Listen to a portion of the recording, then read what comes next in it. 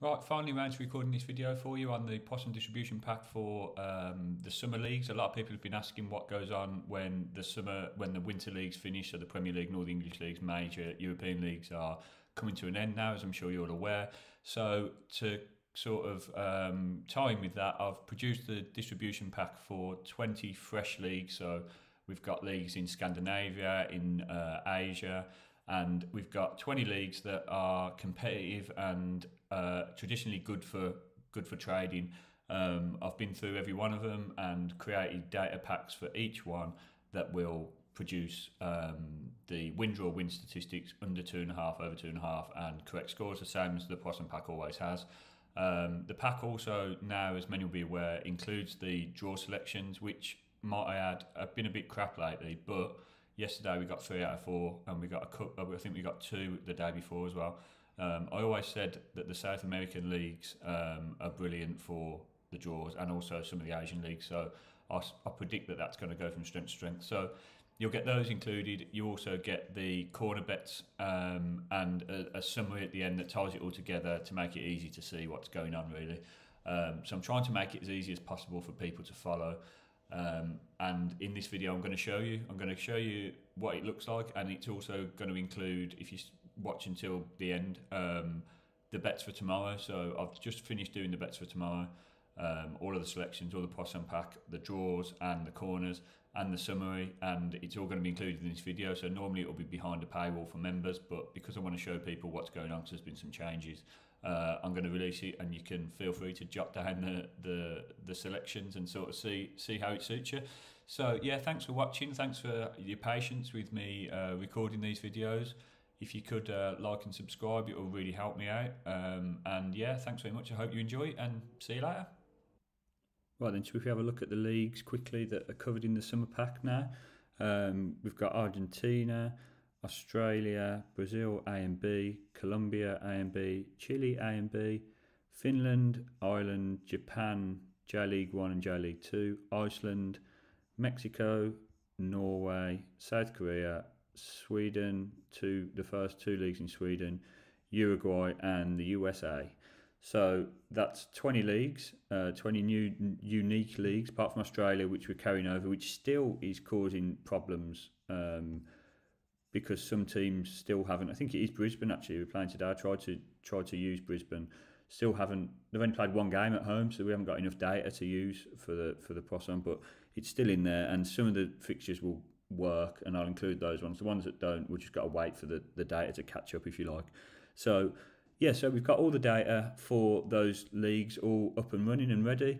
Uh, as you can see, we've got the win draw win, and we've got the under two and a half and the correct scores, which we've had in the pack um, from the start.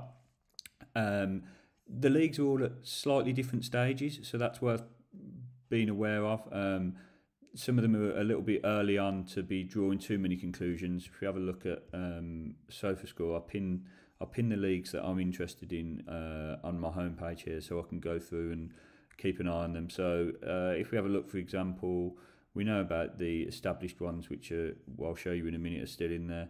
Uh, Chile, let's have a look at Chile, for example. Yeah, okay, so we've got over 10 games in Chile, so that's good. I think most of the South American ones are just up to speed now, uh, and they're actually included in the the draw selections as well because there's enough data. So yeah, so 19 in, in Colombia. It's the some of the European ones, the SOCs, the Swedish league has only had less than 10 games played still. So when you break that down to teams playing home and away, they've only had like two or three home games, two or three away games. It's not really great uh, data set to be using just yet. Korea's up and running nicely. I won't go through all of them, but Argentina is around the same. So most of them are at the sort of 12, 13, 14 level in South America and Asia. Um, but the European ones, this is the other Swedish league, are less than 10. So the Scandinavian leagues are still sort of getting up to speed. So when you are looking at the the data for the Scandinavian leagues, which we'll see in a minute, you just have to bear that in mind that it's maybe not quite as sort of reliable maybe as um, it is for some of the other leagues. So let's have a look at uh, today, what tomorrow's selections then. So nice and early. I've just done this ready for members.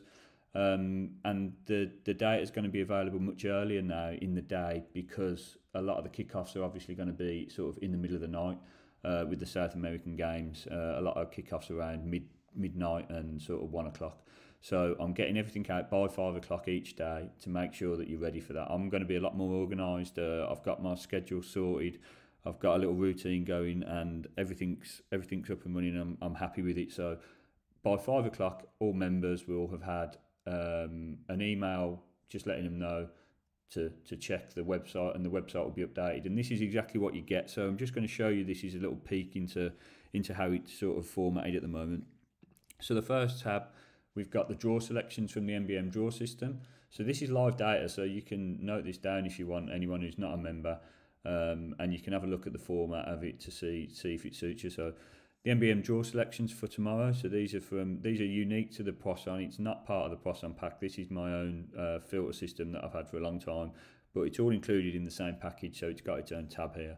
So as you can see, for the tenth, so we've got a game in Chile, um, and we've got you know the the the two two teams and the odds that are currently on Betfair or were when I recorded the bet. Um, they're the odds that you're looking at looking at there. So we've got a game in Chile, um, we've got a Spanish La Liga game between Valencia and Betis, and we've got one in Argentina, uh, Primera C. What a great name, Excursionistas. I love that name. Um, quite low odds there, so quite high expensive a draw, I guess. Um, so yeah, we've got that. Then tomorrow we've got a game in Argentina, uh, Banfield, and we've got the value bet here would be a Banfield win. If you if you wanted to take that level of value uh, and over under. So it's fairly, you know, fairly established in the Argentinian league. Chile, uh, which we've just looked at, actually came up on the draw selections. So this is where sometimes people can get a little bit confused, and I understand why. Um, it it kind of I wish they all lined up, or my my systems uh, lined up, but they don't. Um, so I've got this down as a draw from the draw selection. And to be fair, the the Poisson's coming out three point one seven, which is decent odds for you know it's quite low for a draw. So that's sort of quite high expectancy for a draw, really. But it's um it's also saying that Audax are, are sort of favourites, so the value would be there because you're not getting the value in the draw. You should be getting three point one seven and higher uh, and it's actually at 3.15 at the moment. But that's pretty close, so it, you know it does tie in a little bit with the MBM draw selection. But I don't use this to uh, to influence it. Anyway, yep. So we've got a game in Chile there. Left that on the screen for long enough, I think you can see. Uh, we've got a game in the Premier League tomorrow, Villa Liverpool, which is obviously massively important um, for the title race. So we've got sort of Liverpool showing a bit of value, and there's a bit of value on the overs, but as I'll explain, uh, and I've explained a few times, it all value isn't necessarily uh, worth chasing after. I wouldn't suggest there's enough in that. Uh, and then we've got some games in La Liga. We've got Valencia, Betis, Granada, uh, Athletic Bilbao, and Barcelona Vigo. So this is one that we'll see in the summary at the end that I think there's real value in the Betis win because Betis are chasing the Champions League and Valencia are sort of just meandering towards the end of the season. I think there's value there. Um, and you can have a little look for yourselves at what you think about. I mean, Lane Barcelona could be a route for the the Vigo game as well, which I have looked at. But it's just looking at the motivation and weighing up whether you think um, whether you think that the game will actually play out the way the stats suggest. So those games tomorrow as well, and then we've got some games in Sweden or one game in Sweden. This is very early on, as I mentioned, so perhaps perhaps not massive amounts to take from it. It gives you a guide if you really want to bet on the game.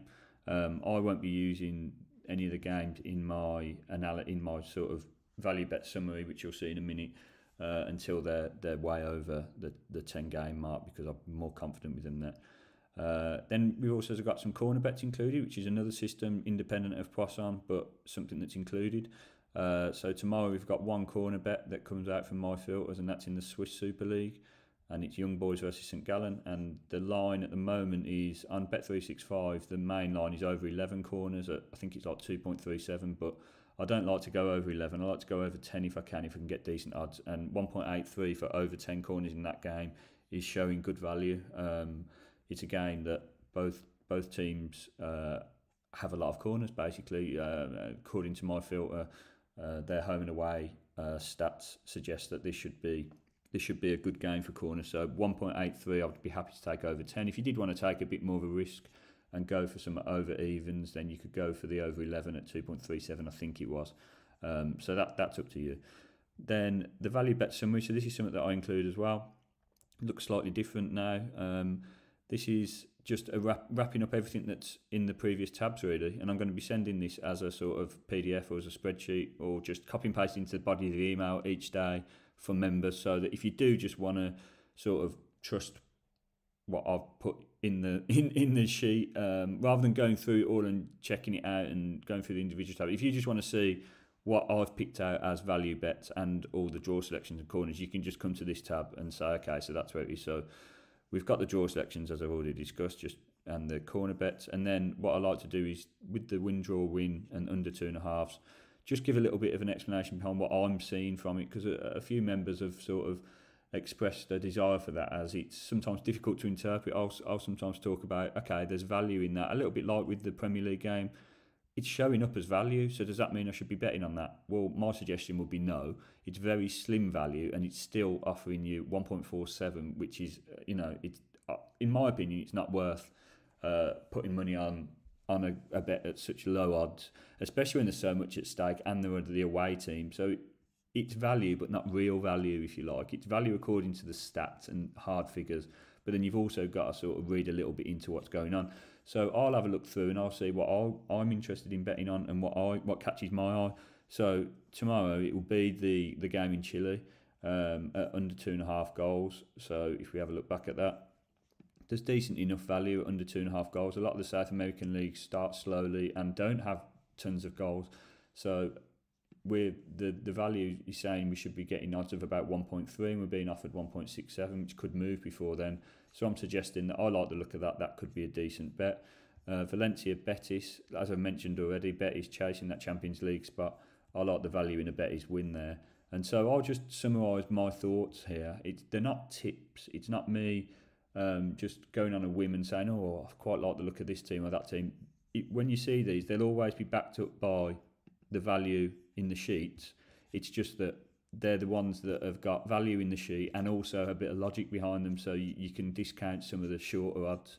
Um, so that's what I'll, I'll just do that there. I'm not suggesting everyone should follow them. It's just my thoughts, and some people find them useful to to sort of play against their own and see what's going on.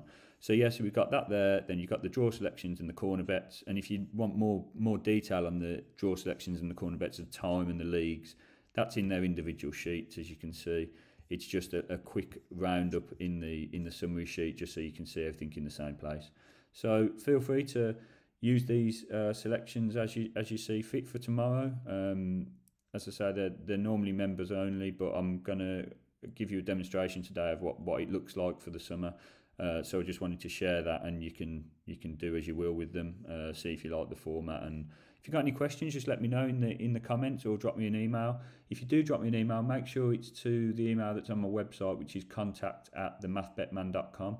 Uh, that's for members mainly because members, when you do get this sheet, it's linked to a Google account.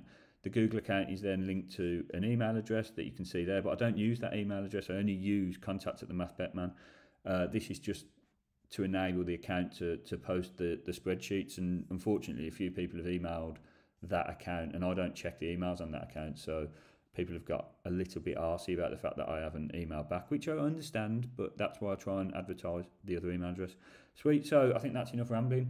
Uh, I hope you enjoyed the video. Please like and subscribe. I know that sounds real spammy, but it really helps me out if you do. Um, I'm trying to sort of get the channel going so that I can make money from the ads, in all honesty, and then I don't have to sort of worry about the subscriptions and sort of I'm never going to raise the, raise the price anyway, but it's just a way of me sort of hopefully getting paid for my time a little bit. Uh, so yeah, sweet. If you can do that, thanks very much, and uh, have a good day.